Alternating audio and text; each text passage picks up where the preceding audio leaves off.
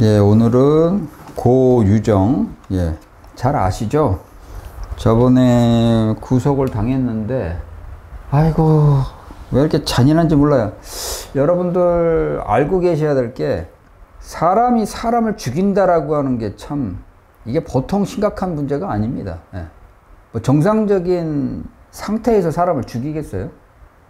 감정에 지배를 당해서 분노를 참지 못하고 죽이는 경우도 있지만 어떤 경우에는요 감정적인 게 아니라 아무 느낌이 없이 당연하게 사람을 죽이는 사람들이 있어요. 예.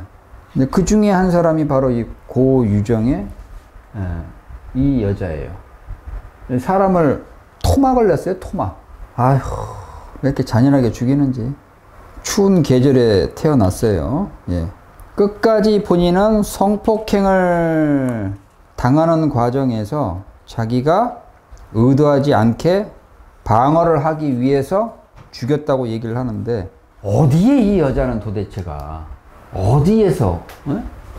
그렇게 잔인한 모습이 있는가? 가만히 보시면 눈꼬리가 처졌죠. 음, 다른 부위보다도요 얼굴 부위에서 가장 중요한 부위가 눈동자입니다. 그런데 눈꼬리가 처졌다라고 하는 것은 무서운 기운이 내포가 되어 있는 것이라고 보시면 됩니다. 여자의 얼굴이 다른 것보다도 이 눈꼬리가 처져서 아래로 내려갔다라고 하는 것은 무서운 살기가 있다라고 하는 암시가 됩니다.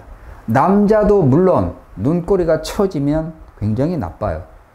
그런데 남자는 양이기 때문에 어떻게 보면 승부욕이 승부욕 때문에 지면 사회생활을 할 수가 없으니까 네.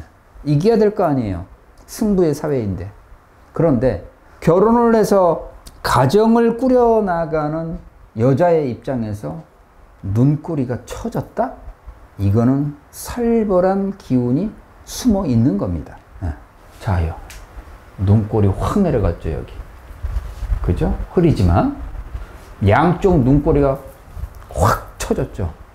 무서운 기임, 무서운 눈꼬리예요. 음. 전 남편을 살해했고 의비 의붓 아들 살해 혐의는 무죄라고 하는데 자 여기에 특징적인 거 입술은 대단히 두텁죠. 두껍죠. 두텁고 두껍죠. 입꼬리가 어때요? 처졌죠. 자, 이렇게 되게 되면은요, 눈동자도 처져, 입꼬리도 처져. 예. 음상이에요, 음상. 자신의 어, 속마음 절대 표현 안 합니다. 겉으로 아무리 밝은 척을 해도요, 속은 철저히 감추는 스타일이라고 보시면 됩니다. 남자보다도 오히려 여자가 더 무섭다고 보시면 돼요. 왜 그럴까요? 자, 옛말에 그런 말이 있어요. 죽은 귀신 중에 5, 6월에 서리빨이 날린다는 말 들어, 들어보셨어요? 5월, 6월 달에 무슨 서리빨이 왜 날립니까? 여자가 한을 품으면 5, 6월에 서리빨이 날린다라고 하는 말이 있어요. 그 말은 서리빨이 내릴 정도로 음의 기운이 강하다는 얘기가 돼요. 여자는 음이기 때문에 이 고유정 이 여자의 얼굴을 보시게 되면 양쪽 눈꼬리가 처진 거 흉한 것 중에 아주 최고로 흉한 거예요, 이게. 여러분들이 여자를 만나는데 눈꼬리가 완전히 처졌다. 경계해야 돼요. 거리 딱 두셔야 돼요. 얼굴이 아무리 예쁜 거 다 소용 없습니다. 눈꼬리가 처진 여자가 얼굴이 이쁘다고 연애를 쉽게 한다? 큰일 나시는 거예요. 자, 또 하나는 이게 그 본인 자신이 그러니까 알려진 바로는 그래요. 약을 먹이고 칼로 난도질을 해갖고서 뭐 수박을 썰다가 성폭행을 당해서 우발적으로 범행을 했다라고 하는데 그거 다 거짓말이죠 뭘. 예. 자 이런 사주는 완전히 얼어 있어요. 화가 하나도 없어요. 예. 살기도 강하고. 근데 이 여자의 얼굴에서는 입술이 굉장히 두껍죠. 자 윗입술은 두꺼운 것 같고 아랫입술은 얇은 것 같아요. 예. 근데 또 아래가 또 처졌어요. 자 입꼬리가 이렇게 아래로 처진 사람들은요, 마음과 생각 자체가 비관적입니다. 그리고 굉장히 차가워요. 속마음 절대 보이는 성격이 아닙니다. 무자비하면서도 냉정한 사람이 바로 이런 여자예요. 참 자기 입속은 잘 챙기면서 남은 배려를 안 하는 스타일이라고 보시면 되는데 근데 왜 어쩌면 그렇게 죽여도 그렇게 잔인하게 죽이는지. 보통 이런 스타일이요. 토막을 낸다. 아이고 그 어떻게 사람의 탈을 쓰고 사람이 개 돼지도 아닌데 어떻게 토막을 내요? 근데 그 말은 정상적인 인간이 아니란 얘기죠. 예. 보통 어, 소시오패스나 사이코패스 이야기가 많은데요. 우리나라의 100명 중에 한 8, 10명? 그 정도는 소시오패스, 사이코패스가 있다고 합니다. 네. 여러분들도 다음에는 소시오패스, 사이코패스에 대해서 제가 설명을 시간이 되면 한번 제가 말씀을 드릴 텐데 진짜 사람 조심하셔야 돼요. 사람이 무서운 세상입니다. 네.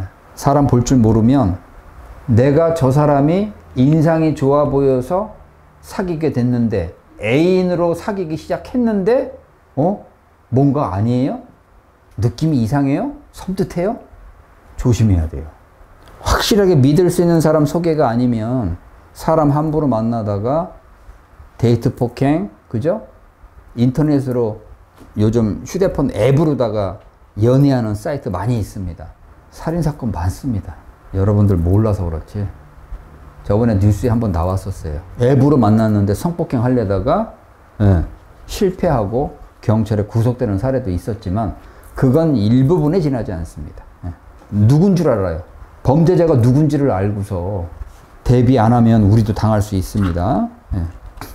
그래서 보통 입꼬리가 하향하면서 예? 눈꼬리가 하향을 했다? 이거는 입을 올렸죠. 웃는 얼굴이죠. 예. 해맑죠. 자, 근데 이게 이제 문제가 있습니다. 이런 얼굴을 보면 이런 얼굴이 사람을 토막내서 죽여요? 상상이나 합니까? 이건 인상을 보는 거예요. 예. 인상의 잘못 어, 사람을 보게 되면 좋은 인상으로 볼 수가 있어요. 그러니까 사람이 첫 만남이 굉장히 중요합니다. 그러니까 첫 느낌도 굉장히 중요하고. 그러나 사람을 만나고 사람을 사귈 때는 나 자신이 관상의 실력가라고 해도 한 번 보고 그 사람 판단하면 실수예요. 그럼 어떻게 해야 돼요? 한 번 만나고 두 번 만나고. 네. 만나면서 그 사람이 하는 행동과 말과 유심히 잘 살펴야 됩니다.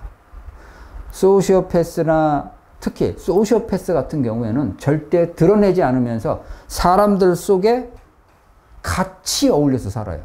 누가 누군지 몰라요. 아니, 10명 중에 한두 명이 섞여 있고 100명 중에 10명이 넘게 있으면 누구라도 걸릴 수 있는 거예요. 저도 이렇게 저는 매일 상담을 하니까 상담을 하다 보면 그 저는 길을 봐요, 길을. 예. 그 사람이 딱 앉아서 이야기를 딱 할 때 문제가 있어요. 멀쩡하게 얘기합니다. 예. 아무렇지 않게 얘기하는데 문제가 있어요. 어디에요? 눈동자를 딱 보게 되면 눈에서 나오는 기운이 틀려요. 일반 사람들하고. 이상해요. 탁한, 느낌으로는 탁한데 제가 귀 쪽으로 눈동자를 딱 보게 되면 아, 문제 있구나. 예. 어떤 문제요? 정신적으로. 그럼 제가 이제 말을 돌려서 해요. 혹시 정신적으로 조금 내가 볼 때는 좀 안 좋은데 치료받냐 그러면 얼굴에 나오냐고 물어봐요 저한테. 조현병이 있거나 그죠? 네, 우울증이 심각하거나. 조현병이 있으면 굉장히 조심해야 되거든요. 근데 내색을 안 하면 몰라요. 어떻게 알아요? 눈동자를 딱 보고 얼굴 보는 순간에 네, 캐치를 하죠. 저의 경우에는 그래요. 그러면 소시오패스나 사이코패스 같은 경우에 뭔 수로 알아요? 그러면 이목구비를 봐야 돼요. 그리고 한두 번 만나서 그 사람 하는 행동을 보고 인상이 좋다라고 해서 그 사람을 좋게 판단하고 그 사람을 믿으려고 하고 그 사람을 좋아하게 되고 절대 그런 식으로 쉽게 판단을 하면 내가 당할 수 있어요. 예. 쉽게 판단하지 마세요. 제가 작년에 만난 사람들 중에 어, 적어도 그 살기가 몸에 진짜 느껴질 정도로 강하게 나오는 사람을 제가 몇 사람 본 적이 있어요. 예. 근데 진짜 사람 잘 봐야 됩니다. 예. 여자라고 해서 절대 약하게 보면 안 되고요. 이 여자는요, 이 여자 사진이 예, 이, 이 눈꼬리 처진 거 진짜 조심해야 됩니다.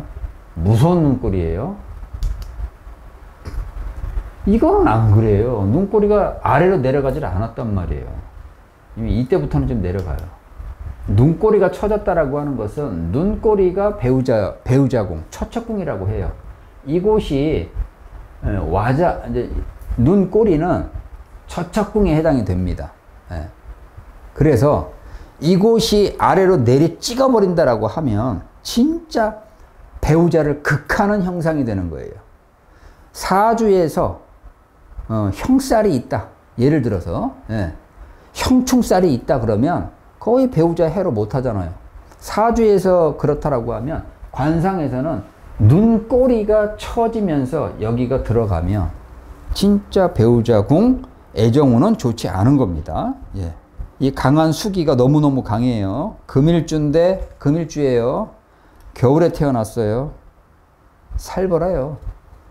온기라고는 일점도 없어요. 화기운 자체가 없어요. 그러니 어떻게 사람을 죽여도 토막을 내요. 에? 예? 아까 이은의 얼굴 관상도 그렇고 이 고유정 이 여자분의 관상도 그렇고 공통적인 건 하나 있어요. 음해상이에요. 음해상. 그리고 입과 이목구비가 조화가 깨져 있다라고 하는 것. 네. 그리고 눈꼬리가 처졌고 입이 처졌고 네.